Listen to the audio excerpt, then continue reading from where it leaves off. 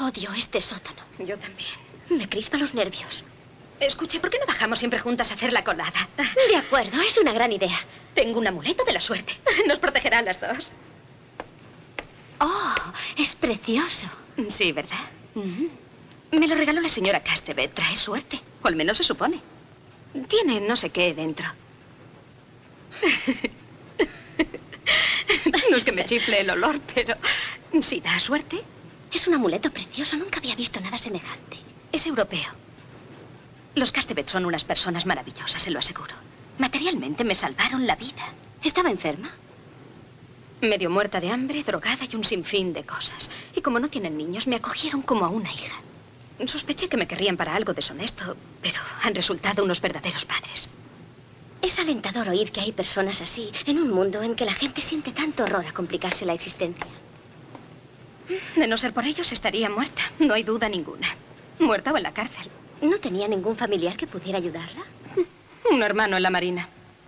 Es del todo imposible estar absolutamente seguro. No debemos decirle nada a ella. Esa es mi opinión. Debe de ser el tabique divisor.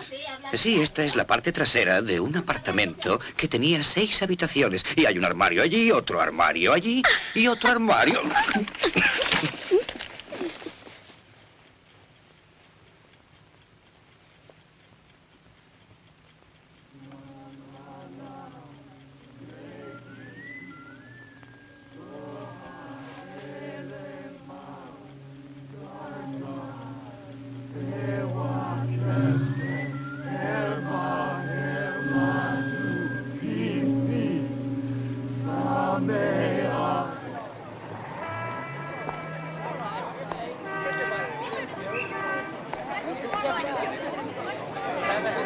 Apártense, por favor. Por favor, apártense.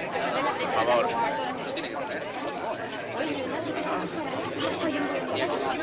Atrás, por favor. Atrás, hagan el favor. Apártense. Apártense, por favor.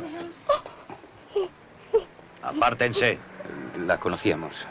¿Cuál era su nombre? Terry. ¿Terry qué? Rose. ¿Cuál era su apellido? Terry qué? No, no lo recuerdo. Era un apellido italiano. Vivía con los señores Castevet en el séptimo E. Sí, eso ya lo sabemos.